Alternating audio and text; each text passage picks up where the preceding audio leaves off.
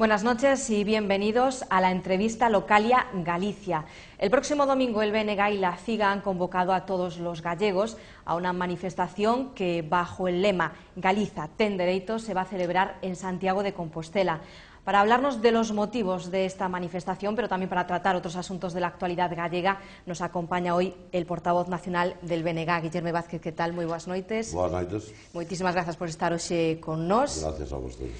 Bueno, ese é o lema, Galiza ten dereito. A que temos dereito os, os galegos? Por que esa manifestación do vindeiro domingo? Pois eu creo que é un dereito elemental, temos dereito a ser, a existir, precisamente a ter país, e dende logo temos dereito a vivir e traballar na terra con dignidade, non? en este momento entre as políticas que está facendo o goberno central que claramente nos está levando non só a non recuperar a economía, sino a profundizar nunha crise social moi importante vía retallamento de todos os dereitos laborais e sociais. E a ausencia absoluta de defensa dos intereses deste país que está facendo o goberno galego, que nada menos que frente ao paro ven a decir que non ten competencias, que nada pode facer frente a esta que é a principal preocupación dos galegos e galegas. Se si eso lle sumamos que en este momento os principais piares do noso tecido económico e agora xa financeiro tamén, pois están en absoluto risco, pois o panorama require ni máis ni menos que dar unha resposta, que petar na mesa, que decir que hai que facer un cambio das políticas que están facendo, que hai que defender este país, porque efectivamente temos dereito a vivir e a traballar na terra. Non? En nas últimas semanas ten falado de emerxencia nacional, de situación crítica, Tan mal estamos aquí. Bueno, eu non quero facer ningún diagnóstico catastrofista, ni penso aquelo de canto mellor peor, nin quero facer unha crítica fácil ao adversario político, no? Pero en calquer caso, se un ve a realidade, ve que o número de parados e paradas sigue aumentando en este país galopantemente, estamos nos 250.000 parados e paradas máis, poderemos ver como as pensións se conxelan na práctica e no futuro se disminuirán mentras suben os precios precisamente de produtos de primeira necesidade, podremos ver como o sector pesqueiro está sendo agredido no? por unha nova política de cuotas sin defensa alguna por parte do poder político estatal nin galego que os levará a moitos casos o amarre, vemos o sector leiteiro desaparecendo a ollos vista, dende logo podemos ver como se nos aplica un decreto do carbón que para salvar empregos na minoría asturiana leonesa condena a perder 3.000 postos de traballo no noso país ou que está pasando ca conserva e así sucesivamente. O sea, esta é a realidade e a pregunta que habrá que facerse que se non dispoñemos, se non defendemos esos sectores productivos, como se poderá xenerar emprego? Se a súa vez en este momento a Caixa camiña definitivamente eh, cara a bancarización, a expatriación do forro galego, se non hai soporte financeiro que este vinculado a este país, como se poderá crear emprego? Por lo tanto, a necesidade elemental é de cambiar esas políticas, cambialas o que está facendo tanto o Goberno Central como a ausencia absoluta de política eh, que nos leve, de logo, a mellorar a situación do Goberno galego e polo tanto, nos dende logo chamamos a toda a sociedade, a toda a sociedade, a decir alto e claro que ata aquí chegamos, que por aquí non se pode seguir. Son moitos os temas, así que imos ir por partes, por exemplo, pois falando das caixas, porque hoxe foi un día importante, eh, convalidouse ese decreto lei de reforzamento do sistema financeiro. Como valora a postura dos diferentes eh, partidos políticos, en especial do Partido Popular con esa abstención? Mariano Rajoy estivo eh, pois hai unhas semanas aquí en Galicia dicía que, que estaba en contra de que a Caixa non quedase tal cal estaba. Bueno, este é un proceso un pouco longo, dende o ano 2009 que non vou a relatar agora, en calquer caso é evidente que conseguimos parar o intento de privatización coa fusión das caixas, como eso foi así o goberno cambiou as normas, fixe un decreto absolutamente político, non técnico, variou as condicións de maneira que o que era solvente hasta aí mes e medio deixou de selo e a partir de aí eh, como vostede sabe, o Bloque Nacionalista Galego volveu a decir que frente a unha decisión política tomada polo Goberno Central era necesaria a reacción política deste país. Nos remitimos unha carta ao señor Presidente da Xunta, tamén ao Secretario Xeral do Partido Socialista en Galicia, para ir a esa posición galega. Moi ben, a resposta a esa iniciativa nosa foi o silenzo. A partir de aí quedou claramente en evidencia que o señor Núñez Feijóo en lugar de liderar a resposta frente a esa clara agresión aos nosos intereses do punto de vista financeiro, preferiu optar, desde logo, por comentar a actualidade. Ben, quero decir con isto que, naturalmente, en lugar de mobilizar as enerxías que hai nesta sociedade para opoñerse a ese decreto lesivo para nós, E, por certo, tamén a diferencia do que fixo o goberno catalán, que sí negociou eh, o decreto en función dos seus intereses, o señor Núñez Fijó preferiu, preferiu encomendarse a don Mariano Rajoy. Ese mismo que vostede cita, que non hai tanto, decía aquí que se opoñería a ese decreto. Pero, bueno, a verdade, ahora, pues, é evidente, evidencia, senón, Caeron as caretas, caeron de verdad cales son as verdadeiras posicións, e volveu a suceder que o señor Rajoy non estaba, no? Eu por decirlo claramente, o señor Rajoy nunca estivo, no? En defensa dos intereses deste país. O máis, eh, de logo, que se lle conoce nos últimos tempos ao señor Rajoy é asistir ás corridas de touros en Pontevedra con puro na boca. Pero compromiso con este país nunca tuvo. Por lo tanto, de todas maneiras, sobre quen hai que cargar boa parte da responsabilidade desta saída mala para os nosos intereses foi os, é eh, ao señor presidente da Xunta quen xa digo, tirou a toalla antes de empezar a batalla, non confía nesta sociedade, non a mobilizou, non mobilizou as súas enerxías e otou pola vía que otou que acabou onde acabamos de ver que acaba, cun Partido Popular que non se opón efectivamente a este decreto. Que futuro lle queda agora a Nova Caixa Galicia? Pois eu creo que non quero tampouco facer de agoreiro, pero a, o inicio dun proceso de privatización eu moito me temo que se podrá tentar resistir e seguramente habrá que facelo, non? pero é o principio da fin da Caixa como tal, porque o problema está en que hai unha decisión política tomada no sentido de que as caixas acaben en más dos bancos, respondendo, por certo, aos intereses da gran banca, sea do Estado, sea do Banco de Santander, del BVA, ou sexa da banca, por decir, internacional, por non falar xa dos mismísimos fondos de investimento. No? Co cual, mm, a mí me parece que, chegado a este punto, eh, esperemos en fin, que poidamos salvar algúns muebles, pero en calquer caso empezo ao principio do fin da caixa entendida como tal e sobre todo da vinculación á economía productiva deste territorio. Eso é así. Sin embargo, pues desde certos sectores sigues defendendo non intentar ese vínculo co, co territorio, falase, bueno, a través dunha fundación se pode ser posible Bien, manter a, temos, a obra social. Sí, temos experiencias, no? Eh, bueno, primeiro porque un pode albiscar enseguida o que, eh, que o que digo, o que acabo de decir agora é así, cando hai unha intención de que iso acabe en más dos bancos, acabará, e por certo, a precio de saldo, verá vostede como será a precio de saldo, no? Tamén temos a experiencia do acontecido en outros lugares do mundo, non? Se pode empezar por unha certa fin, vía que acaba, donde acaba tamén que en esta situación, non? A mí me parece que, efectivamente, teremos que dar unha batalla, nos contribuiremos no que poidamos a intentar, como decía, salvar os muebles no que se poida pero eh, francamente eu son pesimista sobre o resultado final no sentido de que siga habendo unha entidade financeira que este pensando basicamente en apoiar a economía productiva deste país, que este vinculado ao territorio, que siga tendo centro de decisión, e xa que fala vostede de obra social, bueno, que manteña unha obra social, pero mire vostede, se se reparten dividendos, se se reparten dividendos, en calquer caso sempre quedarán menos cartos para esa obra social. Con lo cual, a mí me parece que o panorama que se abre pois non, a, non invita ao optimismo, desde o noso punto non invita ao optimismo, o cual non significa que non teñamos, en fin, unha vez máis tarde, unha vez sin apoio político necesario, unha vez sin o compromiso do presidente da Xunta, da Xunta de Galicia neste momento, pois intentar, xa digo, salvar o que se poida, en fin, desa mueblería que en este momento está en Almoneda, está en venta, non? Un tema que preocupa moito os cidadáns nestes intres non só de Galicia, son diría eu de prácticamente todo o mundo, o tema do paro, falaba aí uns intres deses 250.000 eh, parados en Galicia. Lembraba tamén as palabras do presidente da Xunta, Alberto Núñez Feijó, que hai uns días dixo que non tiña competencias para loitar contra o paro.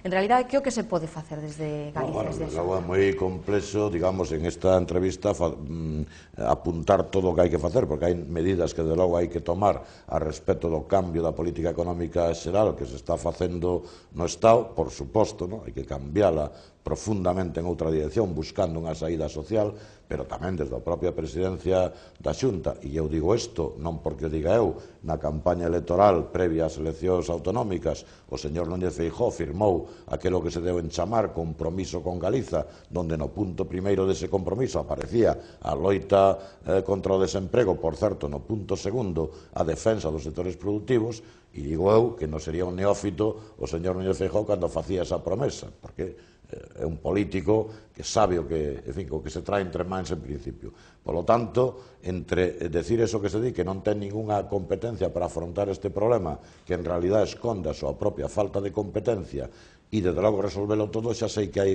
un marxe, no? pero teríamos que empezar defendendo con claridade que non se nos aplique un decreto do carbón como que se vai aplicar que vai a supoñer a pérdida de emprego, teríamos que estar, tería que estar defendendo que a Caixa se pudera manter como tal para apoiar ese tecido económico productivo, algo tería que decir en defensa do sector lácteo que se nos cae a cachos por todos os lados, algo terá que decir a respecto do que está pasando co tema da pesca, algo máis que simples lallos, simple culpabilización a todo menos a propia, en fin, a propia actividade en este momento do goberno galego. Porque claro, eu non vou a decir que teña o goberno galego nas súas mans a resolución de todos os problemas, cousa que estaría dicindo o Partido Popular se estivese na oposición e o goberno aquí en Galicia fose de outro color. Pero algo terá que, que facer e algo terá que resolver, porque se chegamos á conclusión de que nada se pode facer dende a presidencia, polo tanto, desde o goberno da Xunta, dende o goberno galego, a pregunta inmediata será entón para que está ocupando ese goberno, non? E a, e a resposta a esa pregunta pois, é obvia, pois entonces váyase, non? Bueno, por lo tanto, efectivamente, sí hai cuestións que se poden facer. Podíamos estar pensando, por exemplo, en como se tomaron decisións pola Xunta de Galicia de paralizar un concurso eólico no seu día, no seu día alcumado de ilegal, que agora non hai ninguna demostración de que tal cousa acontecese para acabar dándolle eh, as concesións a empresas amigas, pero con un resultado claro. Dous anos despois, resulta que no noso país non solamente non se creou ningún emprego alrededor da concesión eólica, non, non, é que se perderon 2.000 empregos. Bueno, Como non se pode facer? Algo se pode facer. O que pasa que as políticas que está facendo en este momento o goberno da Xunta pois simplemente consisten en tirar a toalla, consisten en decir que a culpa é dos demais e non asumir ninguna responsabilidade. Falaba do decreto do carbón, precisamente votouse hoxe unha proposición non, non de lei para apoiar manter ese recurso ante o Tribunal Europeo. No, pero vamos a ver, o propio Tribunal Europeo curiosamente no auto donde levanta a suspensión cautelar da aplicación do decreto, nos ven incluso a informar de que o recurso presentado no seu momento pola Xunta de Galiza pois tiña tan pouca entidade que nin siquiera xustificaba que fora estratégico para o noso país. No, o problema está que ese, ese decreto leva dando eh, moito tempo voltas, no sentido que me vou a explicar, donde nós nos opuxemos no Congreso, nos opuxemos no Senado, donde ali non tuvemos o voto contrario verdad, do Partido Popular, é dicir, que ali, e por exemplo no Senado, votou a favor dese decreto do carbón, donde aquí se limitou pois un pouco a gallarse dicindo que non estou de acordo, non estou de acordo, pero sin facer ninguna presión política e, desde logo, desde un punto de vista judicial tampouco, e, polo tanto, onde estamos nas portas desa aplicación. E esa é a realidade. O demais son cánticos para a galería, son paripés, son decir que non se está de acordo, pero na práctica non facer nada contra, xa digo, a aplicación dun decreto tan, tan, tan lesivo para nós porque todo o mundo sabe que iso implicará perda de miles de empregos, e o sabe tamén a Xunta de Galicia. Por lo tanto, eh, bueno, nos seguiremos aportando iniciativas, se poden votar a favor, eu non digo que non, pero logo hai que ter algunha eh, acción práctica para facer verdad que eso que se di se corresponde co que se di e aquí no decreto do carbón é evidente que non, o Partido Popular votou en contra das nosas iniciativas en defensa de un decreto do carbón absolutamente diferente que nos permitise eh, bueno, manter o emprego neste país. E eu lle quero decir aos que me están, eh, dende logo, ouvindo, no?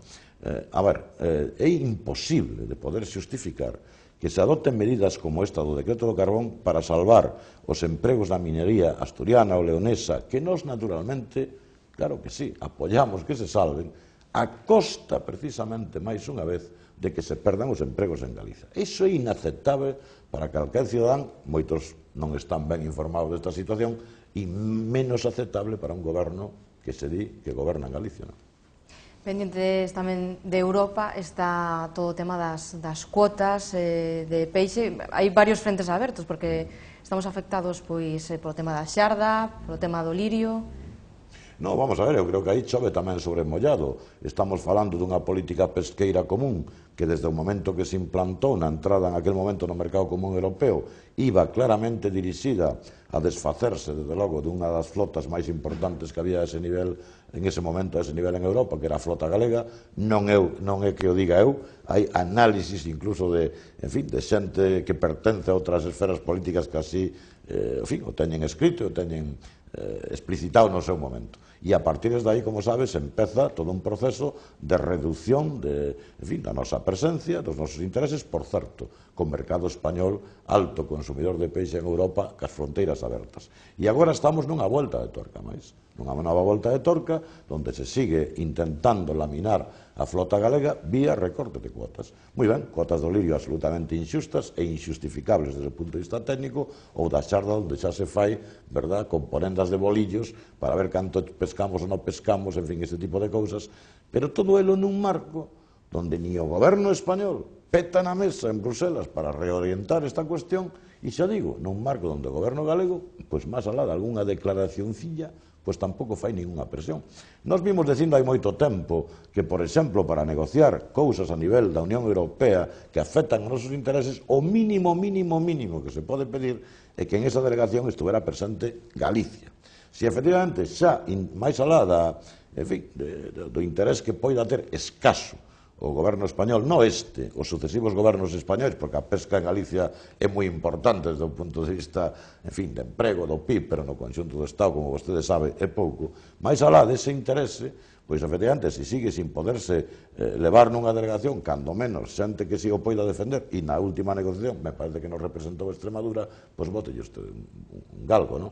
Pero bueno, efectivamente, estamos sufrindo as consecuencias, e eu volvo a decir, de decisións políticas Non é que a nosa flota non teña capacidade de pescar, non é que non teña vos armadores, tripulacións, etc. Decisións políticas que fan que, mentras outras flotas de Europa, de Europa, se manteñen e incluso se desenvolven, a nosa se vaya vendo reducida. Non?